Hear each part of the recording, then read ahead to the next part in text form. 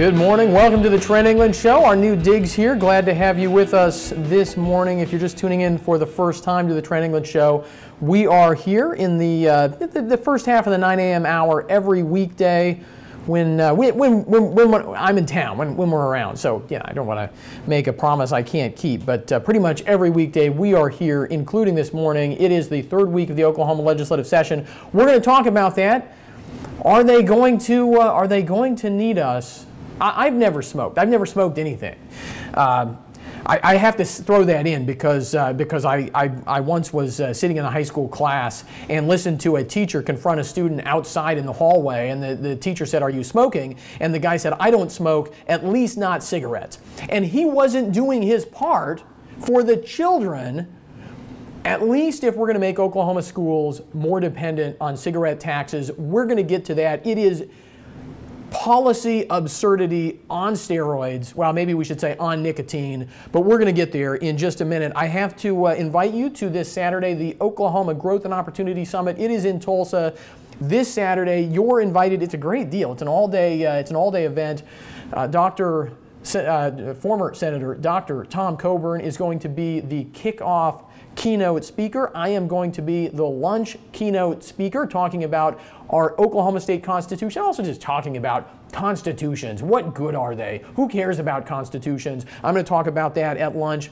This Saturday at the Oklahoma Growth and Opportunity Summit, they have a bunch of breakout panels on activism, on state budgets, on uh, all kinds of policy topics, and uh, topics about how to become a more effective citizen, a more effective citizen activist. It's going to be really exciting. You can find all the details on our Facebook page. Go to the Facebook page, ocpathink.org on Facebook, or you can go to, uh, well, go to the Facebook page. That's the easiest place to find it. And uh, yesterday we had a great event, by the way, with Dr. Daniel Dreisbach. If you missed the event, you can watch the video. It is posted on our Facebook page. And uh, so I, I hope you will do that. A little bit of news from around the world before we get right back here to Oklahoma City. In Turkey, just, uh, just within the last couple of days, they have sentenced six journalists and academics to life in prison for ostensibly being involved in the, uh, the failed coup a couple of, uh, what was that, a year ago? I don't know lose track of time. But uh, uh, they, they're throwing journalists into prison because supposedly they were connected with this cleric who lives actually in the United States, who uh, the Erdogan regime is blaming for that coup. And so now six, actually one of the, one of the journalists was, uh, had been ordered to be released by the high court in Turkey, but other courts, I guess more loyal to the regime there, have refused to do that. So that is the latest from around the world. Uh, in, uh, from Turkey in France, the French economy is improving. What does improvement mean, though? It means that their unemployment has finally dipped just below 9%, 8.9% unemployment in France. That's a big win for them. That's lower than it's been in years thanks to their new, uh, relatively new Prime Minister Emmanuel Macron's labor reforms. People say labor, all oh, labor policy doesn't matter. You know, uh, we're, we're, we're, better off if we have uh, you know more control by unions and all that. And uh, France, even even the socialists, by the way, had been supporting labor reforms, but they couldn't get it done. And so Emmanuel Macron was elected last year, and he actually got it done, and that has been spurring the French economy, although they've got a long way to catch up. Meanwhile, in Britain, they are falling behind. A new study in Britain showing that home ownership, a decline in home ownership in the last 20 years among middle income 25 to 34 year olds the, the, this is a theme that we have to, uh, that we, we've got to keep coming back to in Oklahoma. One of the best things about living in Oklahoma, and I can say this because I've lived in the Seattle area, the Los Angeles area, the Washington, D.C. area, one of the great blessings of living in Oklahoma, whether you're in Oklahoma City, whether you're in Okarche, whether you're in Tulsa or Enid, wherever you are, one of the great blessings is the cost of living here is much, much lower than it is across most of the rest of the United States. Particularly, I would say, I mean, you know, you get outside of the cities in a lot of other places in the country, the cost of living might go down a little bit, but particularly even in our big cities in Oklahoma, our cost of living is much lower. That's a blessing. That means that people who, uh, who, who, don't make as much as, uh, as uh, you know, people might make in Los Angeles can still have a much better quality of life, can still have a lot more money to spend on their families, on their kids, investing in their businesses. It's easier to build a business here. We should not forget that. And when you go and you look at places like Europe, you find middle income people who can't buy houses, who can't buy cars, who can't fill their gas tanks because of a combination of tax policies and regulatory policies that make it very, very expensive to live. And uh, new, new research out of Britain confirming that. Okay, our main subject for today. And I mentioned at the beginning, and I say this every time I talk about it look, I don't smoke. I don't, you know, with, with my allergies, I, I can't even be around people who are smoking, right? So I, I have no no, uh, no love loss, no, uh, uh, no concern for smoking itself. But what I have a concern for, and I hope you have a concern for, is just policy that makes sense in Oklahoma. Do we, do we want to shift Oklahoma to a I mean, we, we've already done, done this with the lottery right? And people always make this arguing, uh, argument about gambling expansion. And there's an argument going on right now in the legislature about should we expand gambling? Uh, to uh, ball and dice gambling. I'm not even, to be perfectly honest, I'm not even exactly sure what that is. Uh, but who cares, right? I mean, should do we want to make our state more dependent on smoking and gambling and lottery tickets to pay for state government and in particular to pay for education. Right now, it, it gets worse. I mean, that, that is going to make some people squeamish. Some people are going to say, that, that just doesn't feel right to me. But other people are going to say, Oh, who cares, right? Those are easy things to tax. I hear this all the time when I talk to people who are political insiders. They say, come on, Trent, you know, you can get away with it because there aren't really that many people who smoke. They're mostly lower income. You can raise their taxes. They don't have lobbyists at the Capitol. They can't fight back. I mean, sure, the cigarette tax companies might squeal, but they're unpopular, right? So they can't fight back. So let's just do this because it's easy. And don't tell me that it's bad policy. But it, it's not just bad policy it is policy that's destined to fail. Let's look at why that is. Uh, and there, by the way, there was an article. The reason, one of the reasons I'm talking about this, it's a live issue in the legislature, and the new debate is between should, uh, should they try to raise taxes on cigarettes by 75 cents a pack or, or $1.50 a pack? The governor wants $1.50 a pack. A lot of the health agency leaders want $1.50 a pack. The Oklahoman wants $1.50 a pack. In fact, they're not just saying that on their editorial page. They put that in their news pages yesterday, basically ran a, a front page, bottom of the front page story that was all just uh, quotes, one after another quotes from people saying, it's got to be a dollar fifty, it's got to be a dollar fifty, it's got to be a dollar fifty. And I thought, you know, look, I should take this up on the program and show just how utterly vacuous and, and, and foolish is that argument. Because all of those people, that what they want is they want to get a bunch of money for government and pretend like they have Oklahoma's best interest at heart. That's what they want. They want to feel good about policy, but what they really want is the money. And, and they're, they're not ashamed to admit that. Let's look at cigarette taxes. I've got this, we can pull this up on the video, video stream here. And I'll, if you're listening to this on, uh, on iTunes or uh, SoundCloud or somewhere, I'll, I'll post all this on the Facebook page so you can find these maps. These maps are really important. How high are cigarette taxes in your state? I got two maps from the Tax Foundation, and you can see here when you look at this map Oklahoma is middle of the pack, I mean, on, on the low side, but not dramatically so for cigarette taxes. We are 35th in the country. Our cigarette tax is a dollar and three cents per pack. Now that is a little bit lower than Texas, where it's a dollar 41 cents a pack. It's a lot higher than Missouri, where it's 17 cents a pack. Arkansas is a dollar 15. Uh, Kansas is a dollar 29. So we are, you know, we're right there in the mix. We're, we're a lot higher than Missouri. We are somewhat lower than Kansas, Arkansas, and Texas. We are just about the same as Louisiana and a little bit higher than, than uh, Colorado. So that's where Oklahoma is on cigarette taxes. Why does it matter? Cigarettes are easily smuggled. And, and not, I mean, smuggling paints this dramatic picture. I mean, think about it. People get in their car, or, or people just happen to be traveling to other states, or they know somebody who's traveling to other states, and they say, yeah, here, here, take, uh, you know, here's 50 bucks, buy me some cigarettes in that other state, uh, because it's going to cost a lot less, right? And people do this. People do this already. Anecdotally, you can, uh, you know, if you talk to people who smoke, you'll find people who say, well, yeah, I mean, if I'm going to Missouri, I'm going to stock up. If I know somebody who's going to Missouri, I'm going to have them buy a bunch of cigarettes. That's what people do. I've had people tell me this. It's, uh, it, it's also borne out by the research on cigarette smuggling. So smuggling doesn't just mean the mafia or something like that, right? Smuggling can mean people just going and buying them in other states and bringing them back here, um, which, uh, which may or may not be illegal depending on you know, whether they're doing it for themselves or somebody else. Cigarette smuggling, it happens. Here's the Tax Foundation estimate on cigarette smuggling, and you can see that Oklahoma is, uh, we, are the estimates suggest that we have some smuggling into Oklahoma, and you can see there, the, the, the blue is our states where the smuggling is coming out of those states. So those states are making extra cigarette tax revenue because people are going into those states, buying low tax cigarettes, and then bringing them to other states, especially to states like New York, Washington, Arizona, New Mexico that have really, really really high cigarette taxes, but also even to Oklahoma where our tax is currently $1.03. Okay, so look, Taxes change people's behavior. This is not a complicated, you know, this is not a right wing plot. This is just basic economics. And it feels like we have to say that anytime we talk about basic economics, we have to remind people economics is not a right wing plot, it's just human behavior. It's the way people respond to the incentives that are created by public policy, whether it's tax policy or anything else what if we raise cigarette taxes by $1.50 in the state of Oklahoma? Here I'm looking back at the, at the tax rate map.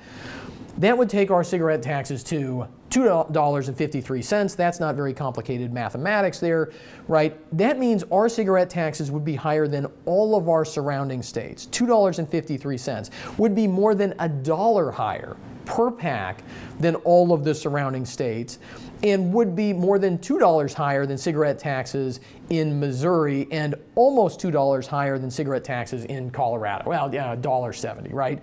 Uh, that's a lot of money, right? People can do the math. That's a lot of money. That means that a lot of people will go and buy cigarettes in other states. And, and this is the great failure at the Oklahoma legislature, and it's not unique to the legislature. It's a failure in Congress. It's a failure in most states is to be realistic when they estimate how much these taxes are going to bring in. They just pretend like everybody who buys cigarettes now will continue to buy cigarettes. They'll, they'll behave exactly the same, even though we're going to increase the price by $1.50 a pack. That's not true. Everybody actually knows that's not true, but they don't want to admit it because they want to be able to spend the revenue. Now, I'm going to explain something that for, for common sense Oklahomans, you're going to get a little offended, I think, when I explain this.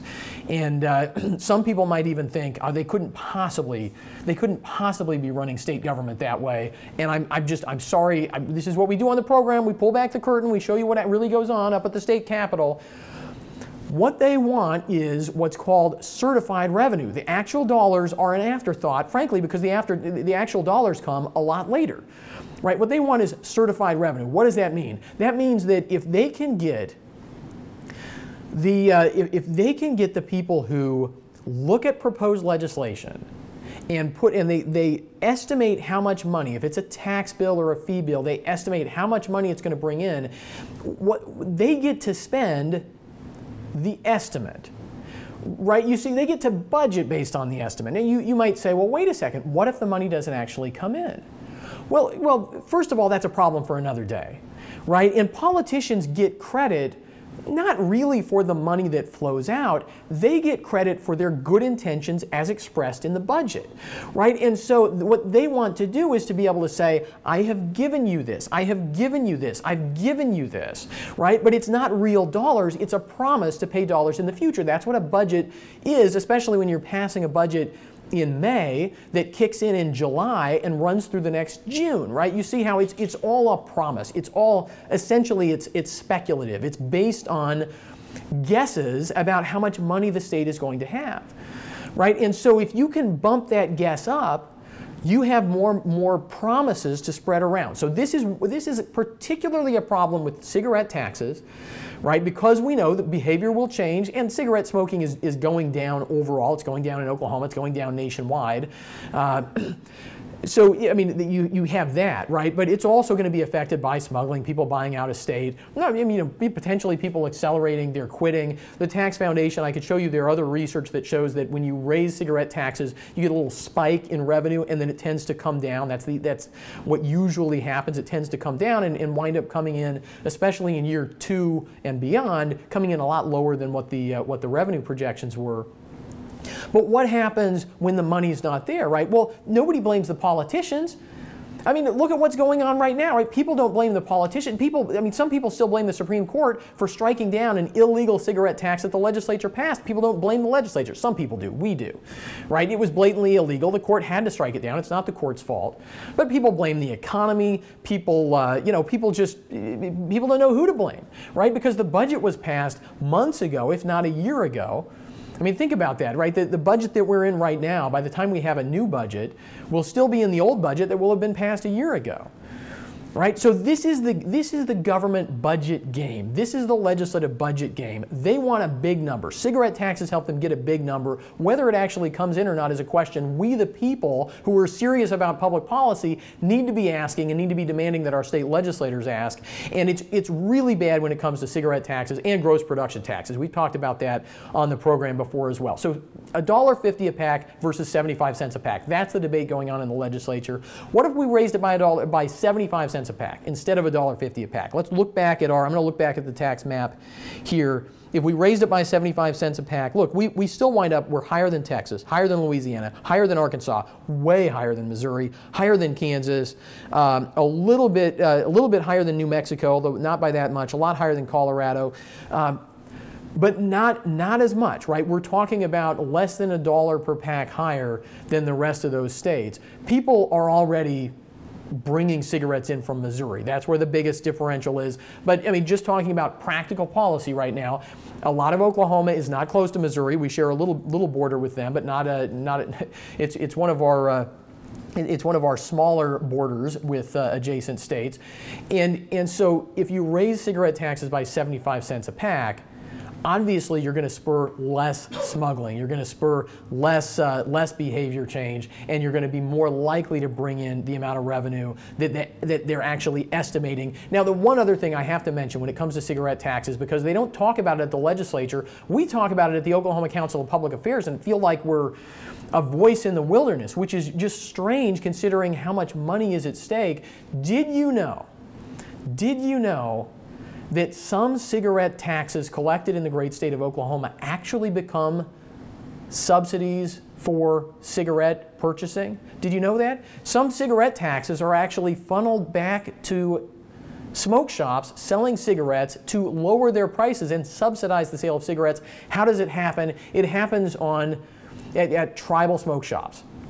It happens when, uh, when, when a tribal smoke shop, an Indian tribal smoke shop, sells cigarettes. They, they collect whatever the state sales tax is. Right now they collect a dollar and three cents. If it goes up to uh, it goes you know if it goes up 75 cents or a dollar 50 or whatever happens, they collect that, but they keep half of it. They keep 50% of it. They, they get it rebated back right? So they give it to government, government gives it back, and, uh, and the, the, the, tribal governments get to decide what to do with it. Many of them actually give some of that money back to the smoke shops themselves so that they can what? So that they can be more competitive, so that they can price their cigarettes lower, so that they can subsidize the price of cigarettes in tribal smoke shops. And that will be one effect of, you know, it's not just the smuggling from out of state, it's not just changing purchasing behavior out of state, right? Raising the cigarette taxes by $1.50 or even 75 cents is going to create a massive windfall to tribal governments. They get to get keep half of whatever that amount is. And some of that we know because this is how it works today, some of that will turn around and become subsidies for purchases in tribal smoke shops. Does that seem crazy to you? It seems crazy to me. Does it seem crazy that, that there are actually legislators talking about making our schools, our teachers, our kids in Oklahoma more dependent on smoking?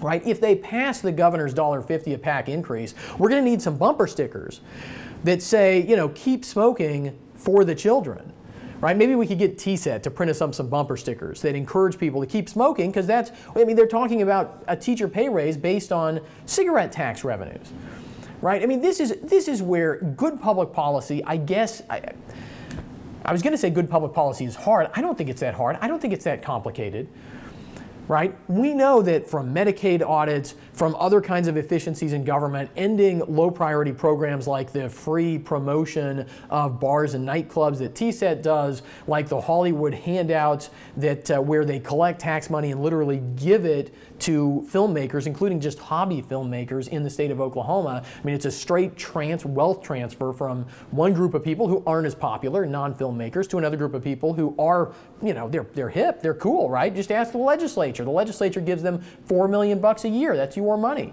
right? Obviously, they're cooler than you in the opinion of your state legislators right? By ending programs like that, by better running the programs that we have, by rooting out the kind of corruption that has caused the health department to wind up $30 million short, that, that has caused the, uh, the, the uh, uh, Center for Medicaid to, uh, our, our Medicaid program to wind up millions of dollars short by misspending federal money, right? All we have to do is run government better in Oklahoma and we could pay our teachers better. We could have a lot of the things that we want without these crazy uh, crazy tax increases, almost the worst way to raise revenue, relying on revenue sources that are highly volatile and that are decreasing over time. If you like our new digs, give us a thumbs up if you're uh, if you're watching on the uh, live stream if you're watching on the archive give us a thumbs up if you like the new uh, the new backdrop here everything we've uh, spruced it up a little bit for you and uh, moved moved out of our former radio broadcasting center into something that's a little bit more exciting for video. Plus, I get to stand up. I like that a lot. If you have ideas for the show, if you have topics you want us to cover, if you have things that uh, that you want us to investigate at the legislature, bills you want us to talk about, please do that. I am going to mention a couple things we're going to talk about coming up. One is more healthcare freedom for Oklahomans. If you want more access to care, if you want better prices in healthcare in Oklahoma, one way to get it is with more freedom. You allow people to make more choices, you allow a more competitive marketplace, you allow more people to provide care, and uh, that is there are efforts at the legislature to do that by making it easier for nurse practitioners who frankly, I mean, a lot of, a lot of people go to the doctor, they already see a nurse, nurse practitioner. They never see a physician when they go to the doctor. But did you know those nurse practitioners right now have to pay a, uh, yeah, I mean, basically have to pay a sort of protection money to a physician for the privilege of taking care of Oklahomans. There's legislation in, in the Oklahoma legislative session going on right now to make it easier for nurse practitioners to provide care to Oklahomans. That's something we're going to talk about on future programs. Also, legislation. Representative Kevin Calvey has legislation to try to, to try to make our criminal justice system make a little bit more sense by uh, um, by rationalizing some of the fines and fees. We're going to talk about that too. If you have other ideas, send them to me. Leave them in the comments. And thanks for watching the Trent England Show on this Tuesday morning.